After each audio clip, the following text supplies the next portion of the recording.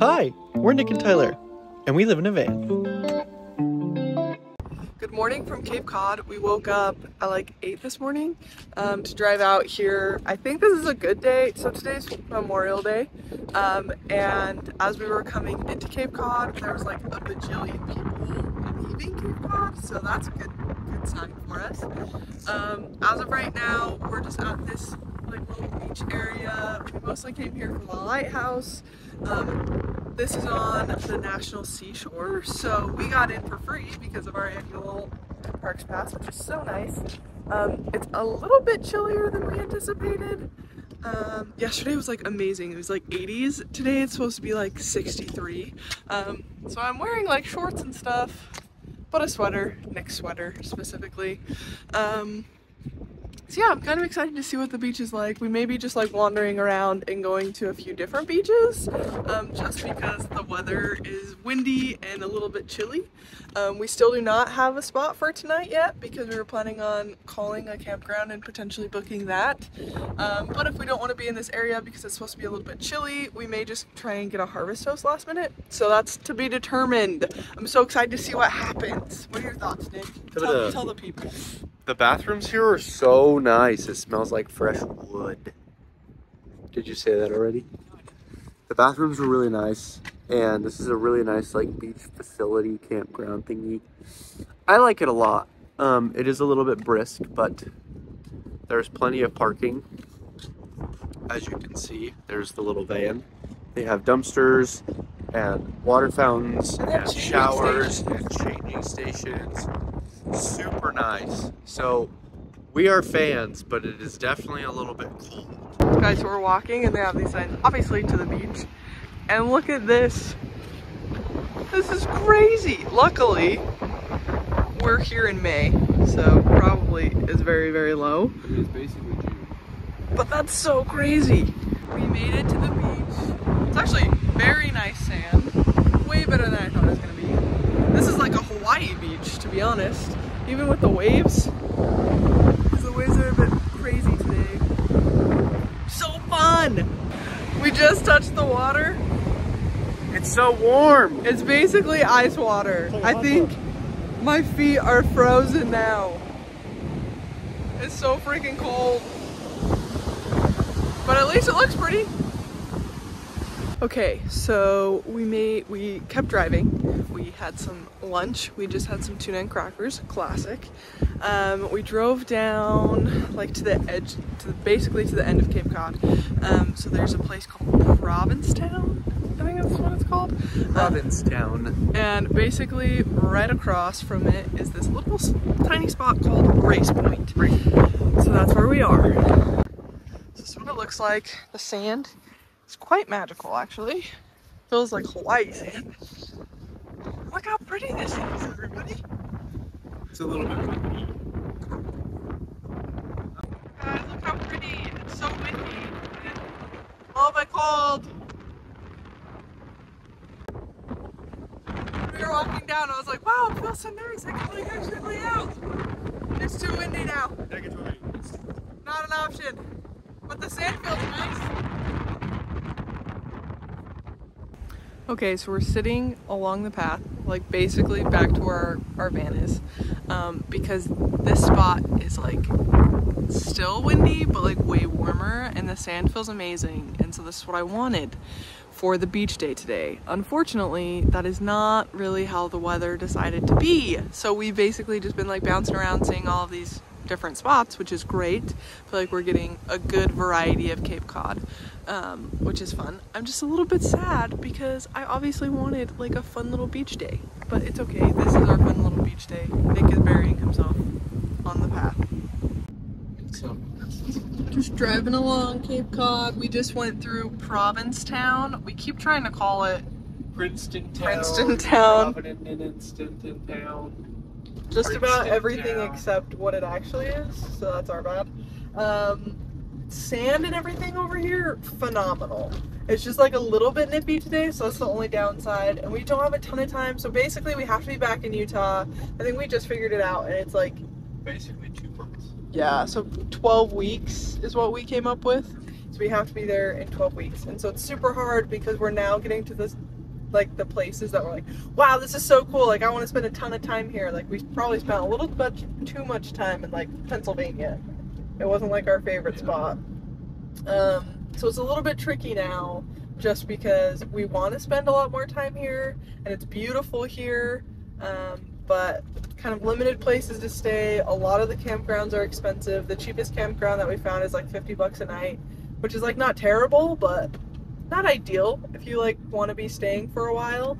Um, and unfortunately in Massachusetts, if you want to stay at a state park, it's like triple the amount for a non-resident than it is a resident. So a resident it's like $22 a day. For a non-resident it's $70 a day. So that's brutal. Um, so yeah, we're going right now. I think we may stop at like one or two more beaches. I'm not really sure actually. We may just like stop a little bit here and there, but overall we're going to head to a campground that we called. They said that they have some availability. When I checked them out, it's like 45 to 50 bucks a night. Um, and that's where we're going to be staying for the next two nights and then we're going to kind of go from there. Anything you want to add, Nic? It's really, really fun over here. It's fun because we're on the furthest east that you can get up to this point. Yeah, the only part that like you might be able to get a little bit further, like Portland, Maine is just about where we're at, just like directly north of us. And then if you went to like Acadia or like Nova Scotia and stuff, that you'd be further east. But we are as far east as you can go in the United States, up to Massachusetts. Third beach of the day. This is called First Encounter Beach. Um, we are hoping that some people are going to leave so that we can pull right up to um, the edge and kind of open up our van. But this is what it looks like. So this is what it is. As you can see, the water is like super far out there as of right now, but there's only a couple spots open. So we could have gone like right here, but there's another spot down there and we decided to just wait for a little bit. Where we parked clear back there and the ground is kind of disgusting. But it's cool because the tide is all the way out there. So it's pretty neat that we get to just walk on what is usually covered by water, but it's definitely Kind of feels weird. weird for your feet. Yeah, it feels kind of gross. But it's fine. Have fun. Guys, these are the moments. These are the moments that are like, wow, yep, it's a good thing we live in a van because we can just sit here and enjoy this awesome view from our bed. Hi. All right, so we've been here, what, like two, an hour and a half, two hours now? Uh, just been like hanging out and the tide is finally starting to come back in. So, um, unfortunately we're gonna have to leave in just a few minutes to, so that we can go check into our um, campground before that they close um, so that we can actually get one because we didn't like pay or anything yet. Um, but look how pretty. Let's see if it will get the right. Oh wow, it's way nicer now. Yeah, this is like super nice. Maybe we'll come back here tomorrow. We'll see. I definitely have work stuff to do tomorrow, but we have some like downtime in the morning. Maybe we'll come back. Okay, so we just got to our little campsite. We, it was how much? $58 a night? Fifty-eight dollars a night. but that included taxes and everything. So not amazing, but not terrible because they have Wi-Fi here, um, showers, bathrooms, And we have an electric hookup. We have so an we'll be able electric hookup. Starlink can have it up all night. So there's like a few like good things. Um, we're still trying to save money, so we're only here for two nights. And we'll like try and do some laundry, we'll try and do all that kind of stuff, just like enjoy our time here. And then we'll do Harvest slash go to Boston. So, so far so good. So excited to kind of check it out. We've basically just drove in. We're in our spot and now we're going to go find the bathroom. Guys, it's so sadly obvious that we never stay at like nice campgrounds because we are freaking thrilled with like everything that they have. So they have like Wi-Fi, they have Laundry, Laundry. which most campsites don't have anyway, but they're like nice here. they're like nice ones and they are way cheaper than going to a laundromat. It costs like three bucks to do a load of laundry. Um, amazing. Um, showers, like nice showers. They have like nice bathrooms. Um, so yeah, just like silly stuff like that where if we were used to staying at like nice campgrounds, it would just be like the thing. But we're not. So we're like us walking to the bathroom, us walking back. I was just like giddy because I was like, this is so amazing. So silly. So we're like three minutes from our campsite. I've been working this morning. Nic has literally taken like everything out of the van I got a little bit hyper fixated. and he cleaned it all, rearranged everything, kind of going a little bit crazy. Anyways, so we came about four minutes down the road to this like super cute little store and we each got a little pastry. Nic got an almond croissant. What are your thoughts? It's pretty good. If it was warm, it would be even better because it's a little bit hard. And then I got this like crumb cake thing. It's actually way better than I thought it was gonna be. And I'm gonna have Nic try it so that he can also tell you how he how he feels.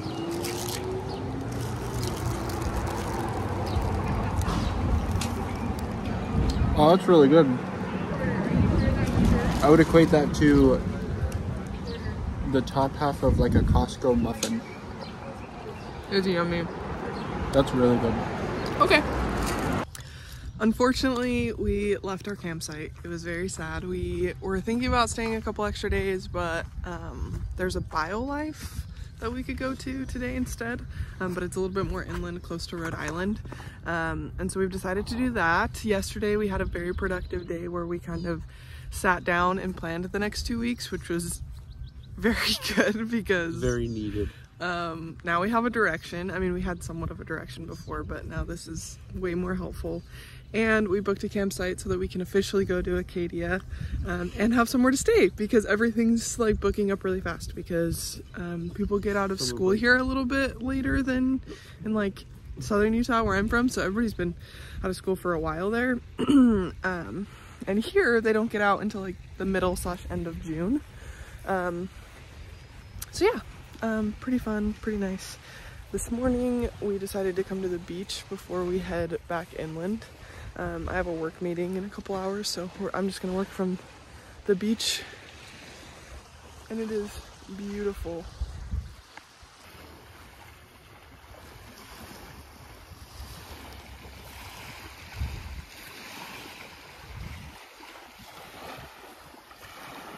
Okay, so we came to this like super random, like kind of hole in the wall place. We ran into someone yesterday at the gas station and they highly recommended this place. They're from here, and so we're here. I got steak and cheese, Nic got Fish and chips. fish and chips. This is the view. We're right on the water, on the harbor.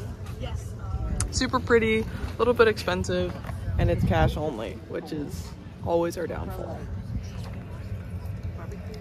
Whoops. So we just wrapped up our um, experience is at Cape Cod. Um, one of my favorite things that we did was the campsite. Um, the we didn't show it campsite, very much, so I'm so sorry. but I think the campsite was campsites in general. I think are some of my favorite spots that we stay at. But one thing to keep in mind with these is that they're a little bit more expensive um, because you're in Massachusetts. But I don't know, it was really cool. It was just kind of cool to like be on the coast and like be in that iconic spot. Yeah, I would say main takeaways from Massachusetts in general, but especially being in Cape Cod, is Massachusetts is expensive for non residents. So if you're a non resident and you want to visit a state park, it's like three to four times the cost. Um, and that sucks. like really bad. Like even just like a day to park somewhere for residents, it's like five bucks, and for non residents, it's 20 because we were gonna go spend the day at just like a random state park and we just we didn't do that because it was 20 bucks and for us it wasn't worth it. Um, so that's one of the downsides. Overall though it was really nice to be at cape cod because it is a national seashore so we got it. We got in for free for like parking at any of the places um, just because of our national parks pass so i really liked it any other takeaways nic I think that's pretty much it. I think it's really beautiful. I think it's a cool place to check out if you're in the area, but um Also, just keep in mind other key the takeaway: price. the food spot that the very last food the very last food spot that we went to that we showed. Um, everybody's like, "Oh yeah, it's like super Cape Cod." Um, we were not impressed. Oh yeah, that food place was not my favorite. And people told us to like do the lobster roll because that's like what they're known for. But a lobster roll was like thirty five dollars. so I think I really like Massachusetts it's There's a just, lot of it's really just a little little expensive. So if you're gonna go and visit, just plan to spend a little bit of money, and I think your experience will be really cool. Because like the campsite was amazing, we had some really cool experiences, and the beaches were really beautiful. But We're excited to go to Boston.